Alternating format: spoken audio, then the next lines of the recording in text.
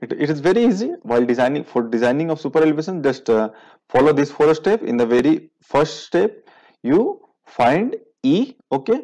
And the formula of e is v square by 225 r.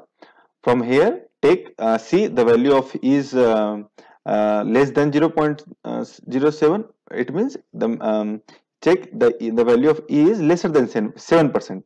If the value of e comes more than 7 percent then keep e as 7 percent only and then find friction.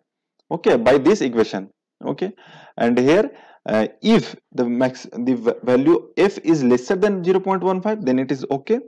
And if you, uh, you get f is more than 0.15 then what you uh, do? You just keep e is equal to 0.07 and f is equal to 0.15 and then find velocity.